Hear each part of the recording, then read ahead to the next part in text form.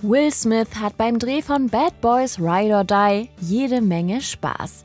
Am 5. Juni kommt der vierte Teil des Actionfilms in die Kinos. Gegenüber Promiflash verrät der Schauspieler mit seinem Co-Star Martin Lawrence, an welchen Moment am Set er sich noch besonders gut erinnern kann. So we, we shot a scene with a donkey that, that didn't, didn't make it into the movie and it's yeah. and it's hilarious. It was really, really funny. It just was a little bit out of the tone of the movie, but we were screaming, laughing every time we looked at it. Im Laufe der Jahre verändert sich am Set jedoch einiges. Der erste Teil erscheint schließlich schon 1995.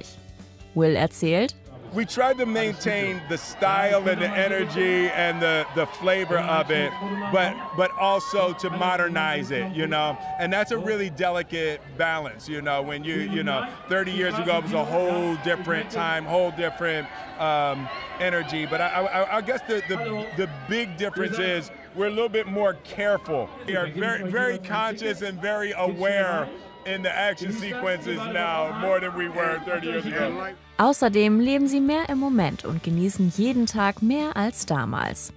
Wie sich das Ganze auf der Leinwand widerspiegelt, können sich die Fans dann bald selbst ansehen.